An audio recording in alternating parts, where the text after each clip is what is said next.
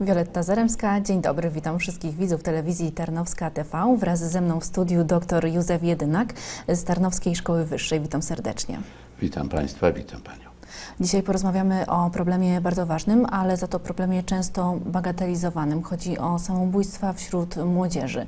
Na ten temat Tarnowska Szkoła Wyższa zorganizowała też konferencję, która odbędzie się jutro. Na tą konferencję wszystkich serdecznie zapraszamy, a ja pana profesora chciałam zapytać, pana doktora.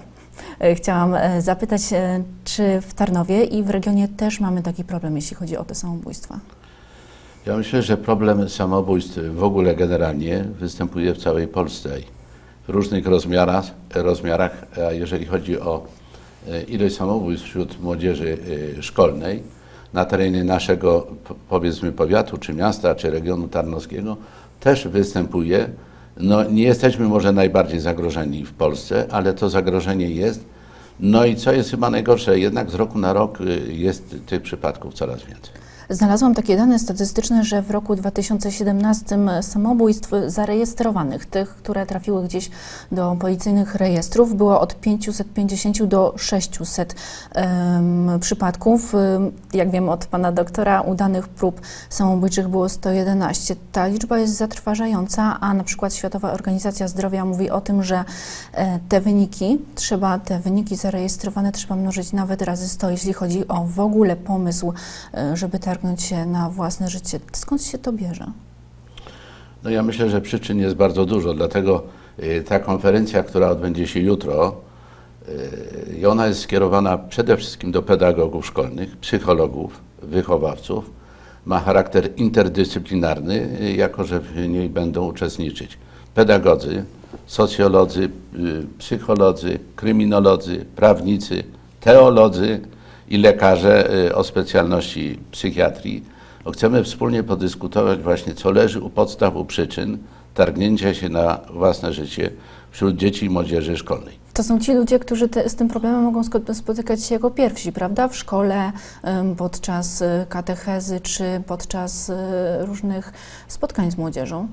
Bardzo słusznie, bo ja myślę, zawsze jest gdzieś początek i jeżeli nie ma właściwej reakcji, nie jest stosowana właściwa profilaktyka, to dochodzi później do targnięcia się na własne y, życie. I dlatego y, bardzo mocno stawiamy podczas konferencji na profilaktykę samobójstw. Więc y, chodziłoby nam przede wszystkim o to, żeby wcześniej rozpoznawać to zjawisko. Zanim dojdzie już do targnięcia się na własne życie, czy to będzie próba udolna, czy nieudolna, to chodzi o to, żeby wcześniej rozpoznawać i żeby to najczęściej kto mógł to robić. No, dziecko na, najwięcej przebywa w otoczeniu własnych rodziców, więc żeby mieli rodzice też zdolność rozpoznawania, że coś nie jest tak u mojej córki czy u mojego syna.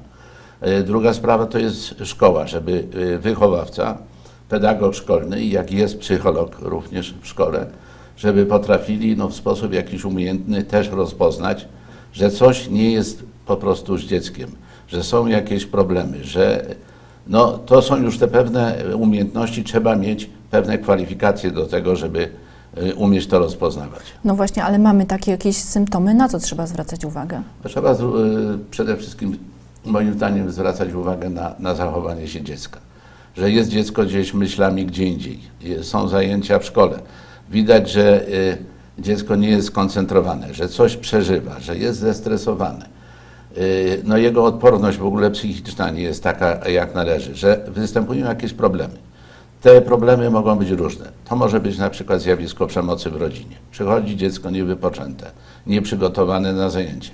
Potem są konsekwencje, jeżeli nauczyciel tego w porę nie zauważy i nie zareaguje, to mogą być problemy wychowawcze i problemy edukacyjne. A więc jakieś problemy y, i z wychowaniem, i, i problemy z nauczaniem. No i w wieku starszym, tak jak wcześniej rozmawialiśmy, już w wieku 17-18 lat, mogą być inne problemy, no jakiś zawód miłosny, nie wiem, u dziewczyny, u chłopaka i jak sobie z, tego nie, e, z tym nie mogą poradzić, nie ma im ktoś doradzić, bo tu chcę powiedzieć, że czasami nawet rozmowa Pomoże. E, może być bardzo pomocna w takiej sytuacji, no to kończy się dramatem. Też jak wcześniej rozmawialiśmy, to Pan mówił, że dawniej takiego problemu nie było. Czy to jest tak, że teraźniejsza młodzież traci taką odporność psychiczną? Ja myślę, że traci i odporność psychiczną, ale też chciałbym powiedzieć, że ten problem był. To jest problem taki bardzo wstydliwy, o którym się e, zbyt mało mówi, ale jednak to zjawisko istniało. Może ono w ostatnich latach nabiera e, e, innego kształtu, innych rozmiarów, ale chcę powiedzieć w ogóle samobójstwo jako takie, bo y, chcę tutaj powiedzieć, że są to jakby dwie statystyki, które biegną obok siebie. Jedna jest policyjna statystyka, druga to jest statystyka Głównego Urzędu Statystycznego. I rocznie ogółem mamy w Polsce gdzieś ponad 11 tysięcy y, zamachów samobójczych. W ogóle W wszystkich. ogóle wszystkich. I jeżeli chodzi o zamachy samobójcze, to tych skutecznych, y, gdzie y, została popełniona śmierć, no to jest ponad 5 tysięcy, około 6 tysięcy osób. Jeżeli I w tym jest ta grupa, o której wspomnieliśmy, około 600 osób, które e, w wieku 13-18 lat, które targną się na własne życie, ale tych skutecznych, dokonanych jest, tak jak powiedziałem wcześniej, 111. Czyli jeżeli będziemy przyglądać się temu e, problemowi, będziemy się o tym uczyć, będziemy też mogli em, niwelować to zagrożenie, prawda? Bo jeżeli o nim nic nie wiemy albo się go boimy, to nie możemy temu zapobiegać.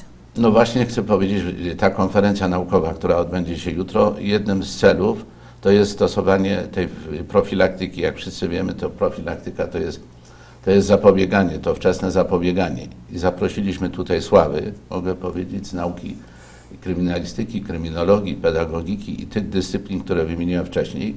No i gwiazdą tej konferencji, to mogę y, powiedzieć bezapelacyjnie, będzie pan profesor zwyczajny doktor habilitowany Brunon Hołyst, który jest y, i kryminalistykiem, i kryminologiem, wiktymologiem i zajmuje się ostatnio właśnie suicydologią, jaką tą już najnowszą nauką, można by powiedzieć, która zajmuje się problematyką samobójstw. Pan profesor jest y, jednocześnie prezesem Polskiego Towarzystwa Suicydologicznego. To powiedzmy jeszcze, co będzie na tej e, konferencji ponad to, co mówiliśmy. I Ta konferencja, to muszę się pochwalić troszeczkę, bo Tarnowska Szkoła Wyższa robi tą konferencję wspólnie z Uniwersytetem Rzeszowskim. Robimy również z Politechniką. I tutaj od razu chcę tak troszeczkę usprawiedliwić, bo ktoś by powiedział tak, że Politechnika to zajmuje się sprawami technicznymi, ale jest duży wydział w Politechnice, e, Wydział Zarządzania, w którym są również nauki humanistyczne i ten obszar też e, obejmuje właśnie to, co e, znajduje się w tym Wydziale za, Zarządzania. Y, Będą y, różne obszary tematyczne. Jeden obszar tematyczny to będzie takim obszarem ogólnym, wprowadzającym. Drugi obszarem y, będzie ta problematyka występująca w Polsce i w Europie, w wybranych krajach. No i trzeci, bardzo ważny, profilaktyka zachowań suicydalnych. To przypomnijmy jeszcze, kiedy i gdzie ta konferencja. Wiemy, że jutro o godzinie 10 się rozpoczyna. Tak, ta konferencja rozpoczyna się o godzinie 10 w auli e, kształcenia ustawicznego e, OHP w Tarnowie przy ulicy e, Mościckiego. I, i, mogę dodać do tego, bo nie wiem, czas pędzi, chcę się jeszcze pochwalić, że Proszę rzadko bardzo. się zdarza, mm, żeby w dniu konferencji została wydana monografia. Ja może przedstawię, jeżeli można tutaj. Proszę pokazać. E. Mhm. Tutaj do kamery, wszyscy widzimy. Tak, to jest y, monografia składająca się z 15 artykułów.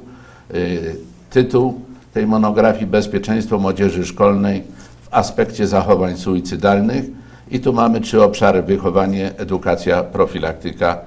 No i to chcemy wszystko skierować do nauczycieli, do pedagogów, którzy będą przede wszystkim na tej konferencji, bo jest zarejestrowanych już w tej chwili około 110 osób, a więc no, miejsca są wypełnione praktycznie do ostatniego. Dziękuję serdecznie za rozmowę. Dziękuję bardzo.